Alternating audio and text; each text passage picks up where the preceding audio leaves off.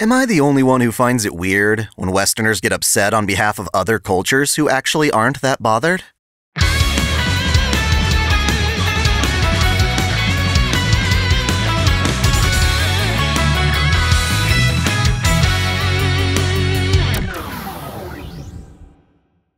Welcome back to Otaku Daikun. Dai here. Lately, there's been some controversy surrounding the video game Ghost of Tsushima, a Western made action game based on Japanese samurai. Some folks on the internet, mainly Twitter, seem to be complaining that the game is demeaning to the Japanese, despite the fact that the game's review scores in Japan are quite positive. This phenomena is far from new. We saw it with the live action Ghost in the Shell, Westerners cried of whitewashing, denying Asian actors the chance to play Motoko Kusanagi. And yet, when interviewed, Japanese viewers actually praised Scarlett Johansson for looking like the animated character. I can see what Western critics are aiming for in their complaints, but time and again, Japan doesn't seem to buy into that agenda. And what is that agenda? Cultural appropriation, the topic for today's video. The term in itself carries such a negative stigma, emblemizing cases where more dominant societies steal cultural concepts and icons from disadvantaged or minority cultures, typically for the sake of commercial gain. Deeply sacred or significant ideas are watered down to their cosmetic appeal and popularized without the proper respect or accuracy. Naturally, many minority or traditional cultures find this insulting and downright blasphemous. But as we can see with Japan, that doesn't speak for everyone. There seems to be a fine line between cultural appropriation and cultural appreciation, as well as a debate over whether we should care about this in the first place. Going into this discussion, there are three things I feel like we need to consider. First, the feelings of the people whose culture is being appropriated. Second, the motives and intentions behind the people appropriating someone else's culture. And third, whether or not a culture, minority or otherwise, has any ownership over aspects of their culture simply because they find them sacred or valuable. In other words, should there be something akin to a cultural copyright? When all three factors are considered, it becomes a lot easier to effectively evaluate different cases of appropriation to determine whether there's any wrongdoing involved. A common example is the branding of the Washington Redskins football team. Not only can the name be considered a racial slur, but various iterations of the team's mascot and logo either parody Native American stereotypes or feature a feathered headdress in the design. There's definitely cause to be upset on behalf of Native Americans, especially given the colonial history of the United States. We've got Europeans effectively invading America and claiming the land by driving out indigenous tribes, sticking people in internment camps, and forcing their European sensibilities onto others. Then, for the sake of arbitrarily theming a commercial sports team, Americans reach back and cherry pick select cultural aspects that they think look cool and slap them on merchandise. As a result, entire generations of children grow up viewing Native Americans as caricatures, costumes, and stereotypes, not even learning what the feathered headdress means to the still living descendants of that culture. From the perspective of the sports marketers, is there any sense of respect or homage going on? Perhaps if the team's revenue went to charities supporting Native Americans and their culture, or if the team provided jobs or spots on the team for Native Americans. I personally don't know if any of those things have ever been done in the past, but they could have at least helped in demonstrating positive intent. Now, it certainly doesn't help that the design itself is literally a redskin man or cartoon, but apart from those more discriminatory aspects, is it so wrong to make use of, say, the wardrobe or symbology of Native Americans? Is it really the case that because Native Americans consider their headdresses sacred, only meant to be worn by those deemed brave and influential to the tribe, that foreigners shouldn't be allowed to wear them? Does wanting to wear something because it looks good inherently mean you're being disrespectful? I'm inclined to say no. Nobody should own the concept of arranging feathers around a decorated headpiece. There's even an argument to be made that liberating these cultural elements helps promote understanding. Even if people aren't learning the meaning behind the headdress, if they build a positive relationship with it, they may be more inclined to learn the truth. It's kind of like how Japan celebrates Christmas. Most citizens in Japan don't necessarily practice Christianity. Instead, they treat Christmas as a day for spending with family, confessing love, buying decorative cakes, and eating KFC. It's genuinely bizarre, certainly far removed from celebrating the birth of Christ. Yet, because Japan has this positive association with Christmas, they're one step closer to learning its truer meaning. Even if that never happens, a common bond is still forming between different peoples, even if it's only due to a select few similarities. As far as anime goes, we actually see a lot of Native American caricatures in Japanese video games.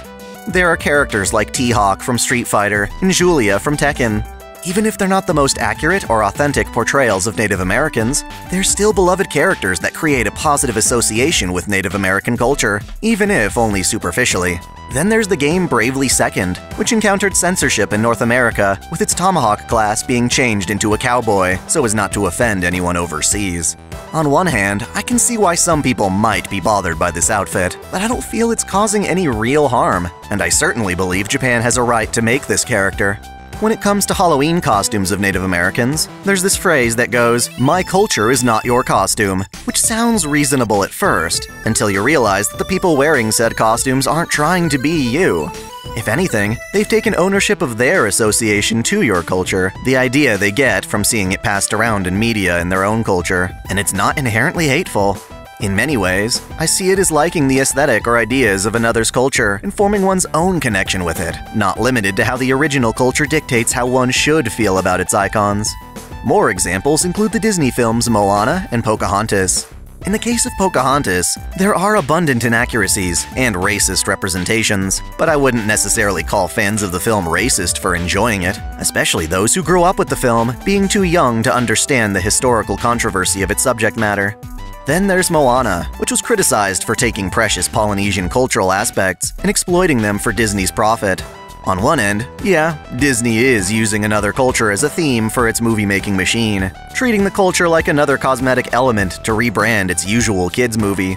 On the other hand, though, the artists clearly had passion when making the film, and apparently did their research well despite sugarcoating things to be kid friendly and optimistic.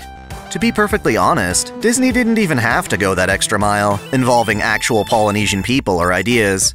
I feel they had every right to just make their own characters and setting inspired by Polynesian aesthetic. Now, let's return to examples of the West appropriating Japanese culture.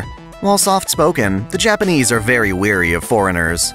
The term for foreigner, gaijin, is often used in a derogatory fashion, but I feel it's done mostly out of self defense. Japan is very proud of its culture and people, and worry that foreigners will intrude upon their way of life and disrespect it. You know, kinda like Logan Paul and Sony have. There are plenty of examples of this happening too, such as a guy refusing to wear headphones in a Japanese cafe, forcing cops to confront and tell him, this is not your home. Because of this, it takes a lot of earnest dedication to prove to Japanese citizens you aren't one of these ignorant, disrespectful jerks. In contrast, however, most Japanese are thrilled when the rest of the world shows appreciation for their culture.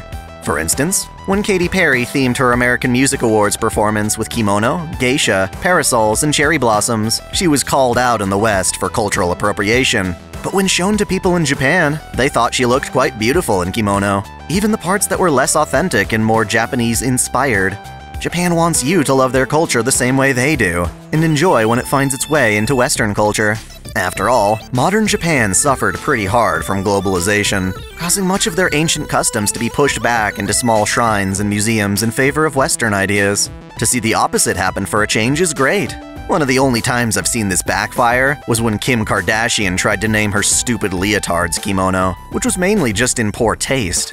If you find these cases interesting, I highly recommend you check out fellow YouTuber, that Japanese man Yuta, he goes out and interviews people in public about how they view various topics like this.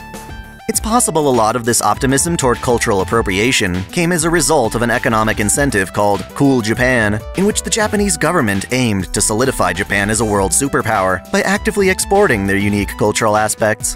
In that regard, Japan is competing with Korea to be seen as the most influential Asian nation in worldwide pop culture.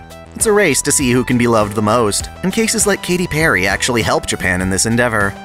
Obviously, anime itself is very much one of these cultural exports. The only things holding Japan back from wanting to spread their anime to the entire world are pushes for censorship and a perceived lack of interest. Sometimes one of the dangers of appreciating another culture is obsessing over it or fetishizing it, but anime dodges this danger because it's made to be glorified.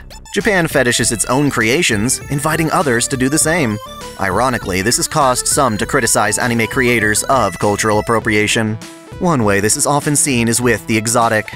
Middle Eastern belly dancing and Arabian clothes, like harem pants, are occasionally depicted in fantasy anime with white performers, presented in a very alluring or fan servicey way. Some complain that this is sexualizing or fetishizing what is otherwise a respectable performance art in native countries. Personally, while I can understand why this might bother some people, I must admit that I absolutely love anime characters in this aesthetic. I think when such characters are drawn or animated, they're just as artistic in their own right as anything they take inspiration from. I don't feel it's disrespectful, and if other cultures find it offensive, I'm willing to defend creators in spite of it. If you watch Evangelion, the number of Christian references is astounding. Crosses everywhere. Is it blasphemous to use the cross without being reverent to God or Christ? If so, Eva is going to hell for how much it uses such imagery for aesthetic alone. The strongest argument for appropriation is obviously that of creative freedom. Even if one culture expressed an idea first, that doesn't mean it belongs to them exclusively. Be it music, religion, folklore, art, or fashion, the creative process often involves mixing various elements together, resulting in new and unique fusions. From a commercial standpoint, this seems exploitative, but from a creative one, it's just par for the course. Anyone should be allowed to experiment with things like belly chains or feather hairpieces, especially in fictional works that invent new cultures that are combinations of real ones. The Avatar series, for instance, is very much a melting pot of different Asian ideas being explored by Caucasian writers and directors. The most important part is that people are finding things to like about each other. Honestly, I'm an atheist and don't find many things sacred. That said, I do have an insane passion for anime art, such as figures. I'd be offended to see someone who hates anime taking to a figure with a hammer Gallagher style. The idea of an immature kid getting his hands on an expensive figure and slamming it around till its precious ahoge snaps off absolutely terrifies me. The fandom itself is my culture. While I don't want people vandalizing or defacing what I love, I can respect people who are inspired by anime to make their own original works. Maybe some experimental artist buys a bunch of figures, chops them up, and arranges them into some horror piece. I guess I'd be cool with it if there was passion and sincerity. One could argue that shows like The Big Bang Theory are essentially appropriating nerd culture, using pop culture references to Star Wars, Lord of the Rings, and Marvel Comics to sell nerd culture to a more casual audience. In some ways, I'm totally down for that. It might encourage people to start looking into nerd stuff and discover anime. One of those people might just become one of my dearest friends. Personally, I feel like everything should be free game. Perhaps an outfit is sacred in your culture, but I reserve the right to find it arousing. What is supposed to be a deeply religious style of folk singing might be perfect for theming a dramatic fantasy story. It doesn't mean I'm disrespecting someone's culture. I'm simply enjoying it for different reasons than it was originally meant for. Plus, if certain cultural elements were never popularized, neither myself nor anyone genuinely interested would even know about them. It's worth being optimistic when it comes to this stuff. Still, with that, I bring the conversation to you with some questions. Do you feel cultural appropriation is harmful? Can you note any other examples of anime or video games appropriating other cultures? And lastly, do you think a culture's iconography should be protected from the creative whims of artists? Let me know in the comments below. Thanks for watching. If you enjoy this channel, help me beat the algorithm by liking, commenting, and sharing the video, subscribing to Otaku Daikun, and, most of all, smashing that notification bell so you don't miss out on all of my anime discussion, lore, or Let's Play content. If you want to support me directly, there are now three ways that all provide the same benefits. You can click join here on YouTube, or join Patreon or Subscribestar for access to exclusive vids and early access. As always, celebrate your fandom.